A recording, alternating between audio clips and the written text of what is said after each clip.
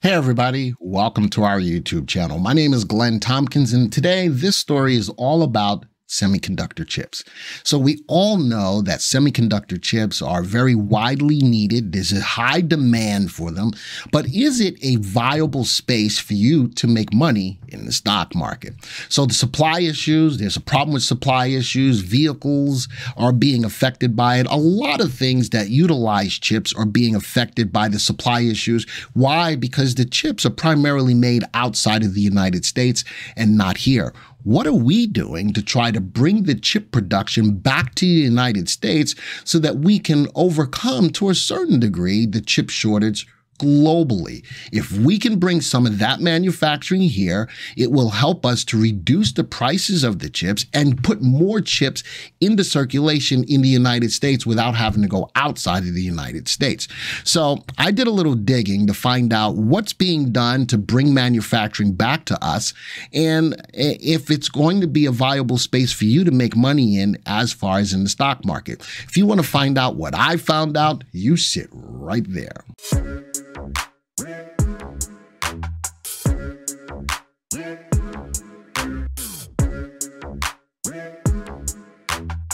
Hey everybody, Glenn Tompkins, senior instructor here at our VectorVest YouTube channel. Love bringing these videos to your attention, and I think that this is an important one. Um, if you're brand new to the channel, don't forget to hit the subscribe button, hit the bell icon so that you'll be alerted to when new videos like this come out.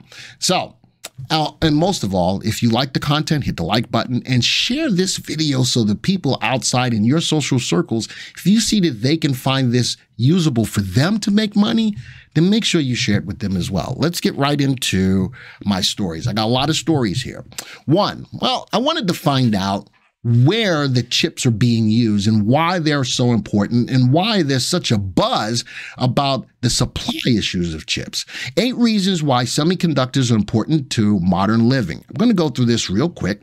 The first thing is in computing. A lot of people, the chip shortage started pretty much when it came out to uh, the the games the consoles for games. That's where it really all started. And people were saying, man, that's going to, it's to affect, and it did. All right. So in computing, not only in controllers or in the gaming systems, but in your computers themselves, they need chips.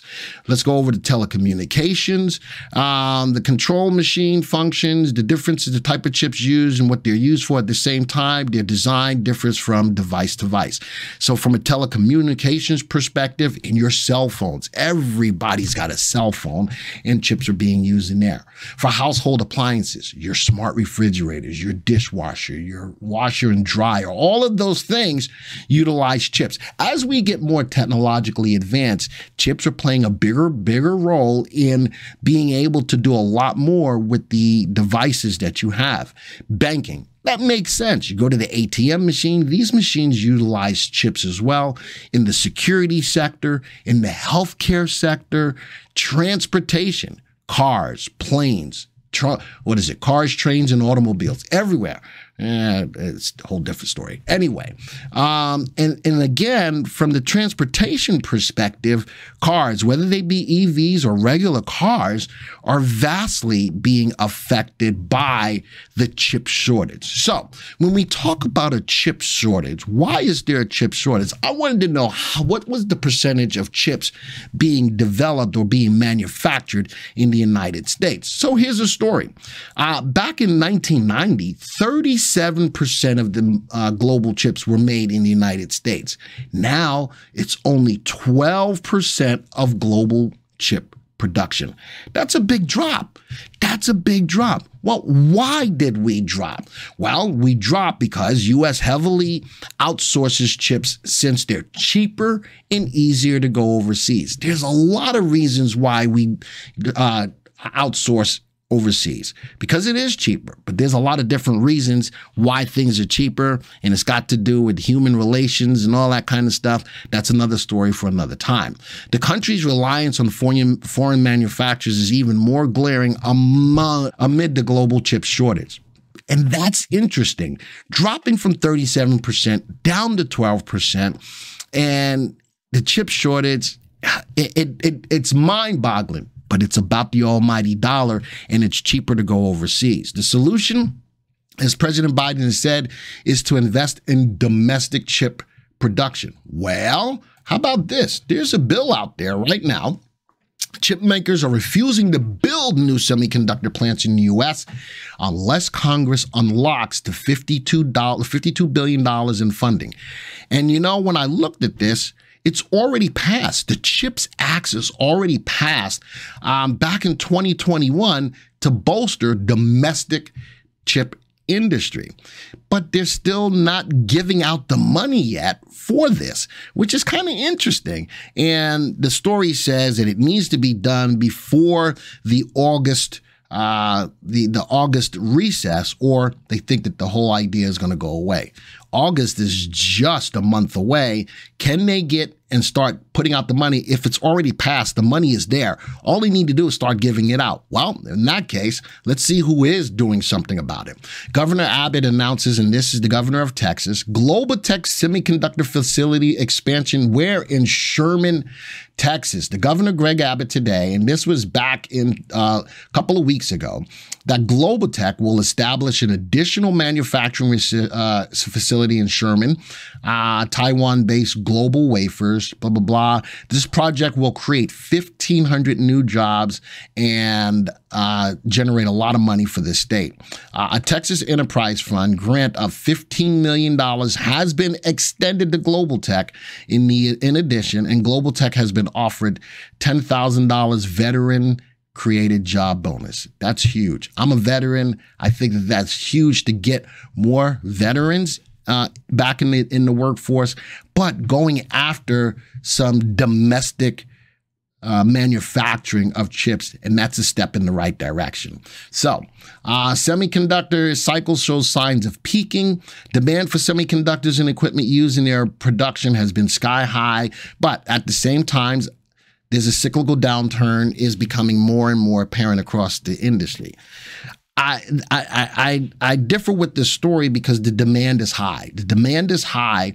Uh, my next story talks about a TSMC, a big player in this space, uh, warns of additional chip material price hikes, which could squeeze the semiconductor giants. All right.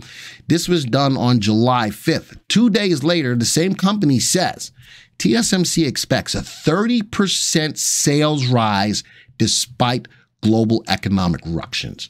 Interesting. So even though the demand is high, the supply is short, people still need these chips and people are willing to pay an inflated price for these. And these companies, if that's the case, will rise in price from an investment position, right? So this is all about, is this going to be good investments for you guys out there, even though the space looks like it's being contracted because of the supply issue. Now, another company, AMD, um, says that it uh, an AMD is a victim of a bad blow at a very bad time. That's another big uh, company in this space. The manufacturer is going through some uh, difficult times right now, marked by questions of, about the demand for its graphics cards. I still think that AMD, a big a big player in this space, will still have the chips uh, to do put out their cards. They're just going to be at a lower number of cards that they could put out be put out but people are going to be willing to pay the inflated prices. The the bad thing about the inflated prices is that who does it affect? The consumer. But as a company, these investments in these companies, the prices are still going to go higher because people are going to need these chips or need these devices. Uh, chips are in for trouble. Uh, this was a couple of weeks ago. Four stocks get downgraded. And the last one is from a perspective of an ETF. Transcend Capital uh, has a $335,000 position in VanEck Semiconductor ETF, ticker symbol SMH. All right, so there are people outside or looking at the potential of these stocks and putting money into an ETF, and an ETF or an exchange traded fund is an easier way for you to capture the whole space without having to invest in one individual stock in this space. Now, talking about the stocks in this space, let's move over to the software. And here are, I've got a watch list in the VectorVest software of 60 uh, semiconductors. I'm looking at the top 10 sorted by our proprietary indicator relative value. These are the stocks that have the biggest propensity to outperform a AAA corporate bond over the next one to three years, cast on a scale between zero and two, with Himax at the top of the list, should outperform that AAA corporate bond by 79% over the next one to three years. The upside potential on these stocks is amazing. So, from an investment standpoint, Long term, these stocks are looking good. But short term, look at these stocks. Because the space has been decimated, the majority of these stocks, nine out of the 10 stocks, are sell recommendations. So why are you telling us, Glenn, about these stocks? Because they have great big potential. The demand is still high, and people are willing to pay the inflated prices for the devices that have the semiconductors. So from that perspective, these stocks still have the potential to go up. You just need to time them to get in at the right time and get out at the at the at the right time as well. So I wanted to look at the watch list of all 60 stocks and what they look like as a group over the last six months. So if you look at the bottom of this list, there's a watch list average of all 60 stocks. Even though I'm only showing 10, I'm going to right click, view the uh, graph. All right. This is the graph over the last six months. This is what the industry looks like. Because of the supply issues, this is what's going on, and it's affecting, again, stocks or companies all around that need these devices. But there's a couple of bullish signs here. One, we have a value. We put an intrinsic value on every stock in our database, and we want you to be in stocks or in a group of stocks that are undervalued. Why?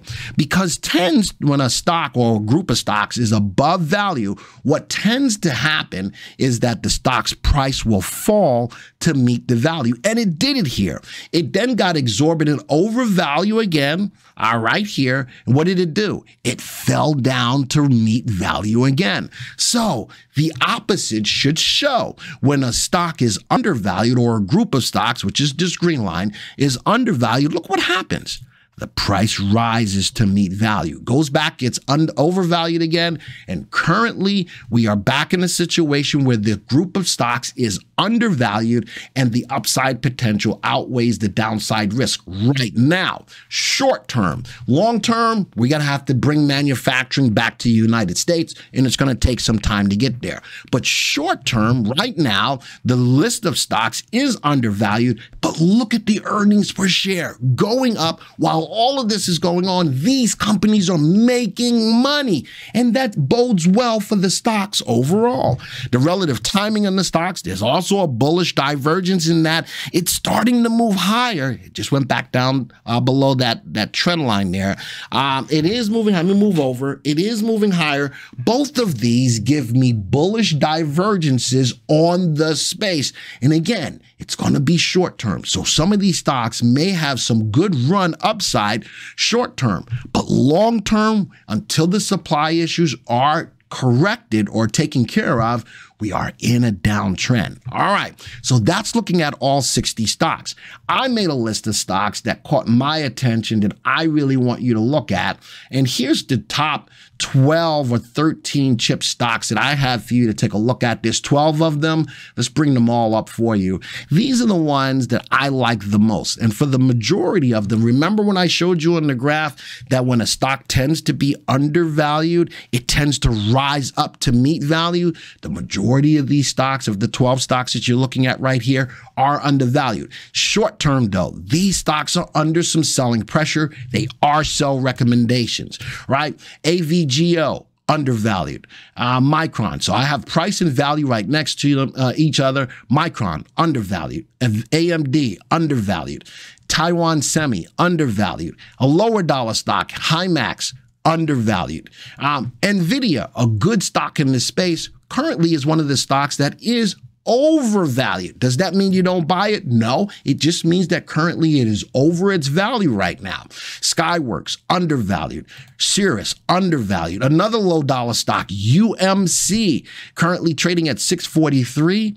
It's got a value of $10 undervalued. Here's another stock, ASML, currently overvalued. So there's two stocks out of the 12 that are overvalued, but the majority of these stocks currently are undervalued. And look at these relative values. These stocks should outperform AAA corporate bonds by a lot over the next one to three years long term. So, yes, I'm looking at this from two perspectives. Long term, the industry is being affected by the chip supply. Well, I like that there's a bill in Congress right now that is passed, but they got to get off their butts and take that money and put it out there so that companies can come back and bring the manufacturing of the chips back to the United States. We have less dependence on having to outsource them, and that's going to affect us at uh, to a to a big part. All right. So another thing, earnings. All of these companies have positive earnings. They grow their earnings in excess of twenty percent or more each year. The stocks that do pay a dividend, the dividend safety on those stocks is nicely above fifty or above. So the stocks that are in this space that pay dividends are safe dividends. Another reason why these stocks could go up in price. And here is my uh, semiconductor uh, ETF SMH at the bottom of the list, but it's an ETF. Right now, majority of these stocks are being affected by not being in uptrends. That's why they're sells. Relative timing on these is not the right time. But folks, given what I just gave you in this space, these stocks have great upside potential. If I look at these stocks, what do you need to do? Let's go view the stock graph. You need to time them. Let's go put these on a three month graph looking at the three and the eight. Let's go change the layouts. Uh, where's my three eight layout? Uh, there it is, three eight layout. But um, you know, at some point in time, you got to say, these companies, you know, how low can they go? Can they go down forever? They won't. They won't go down forever, and they all could be setting up. They all could be setting up. Here's a bump on electronic manufacturing. Oh, I took the stocks off. That sucks. Uh, I did that for uh, for something else, but a couple of these stocks are starting to bump up. Now you got to just take a look at them uh, and time when to get into them. But I still think that the space overall is a good space to be in because of what's going on behind the scenes, because of the demand on these stocks. All I'm saying is that I think that this space right now is a powder keg ready to explode at the right time. And if that bill in Congress, they start to put those stocks, uh, put that money out there, it could be huge for this space. So I've given you some stocks to keep your eyes on. I've given you a couple of low dollar stocks like HIMAX, H-I-M-X, and uh, UMC is two lower dollar stocks in this space and one ETF, SMH, to take a look at as well. So folks, Again, if you like what you saw here, don't forget to hit that share button, share that with people in your social circles, and most of all, hit that like button. This video is over. Until the next time, see ya.